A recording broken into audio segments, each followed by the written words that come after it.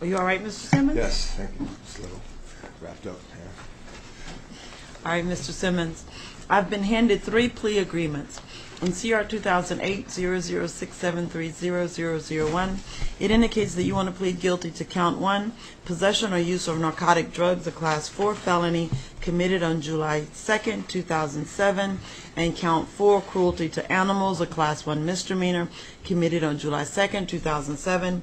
These are non-dangerous, non-repetitive offenses under the criminal code.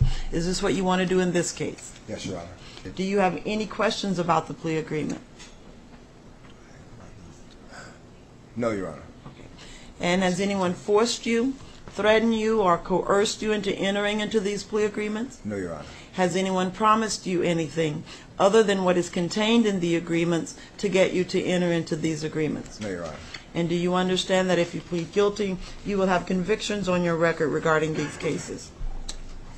Yes, Your Honor. If there's nothing further, you excuse and I'll affirm prior custody orders. So, Mr. Simmons, I will see you back on January 30th at 10 a.m. in this division. January 3rd. Thank you. All right. Have a good day. Thanks, you too.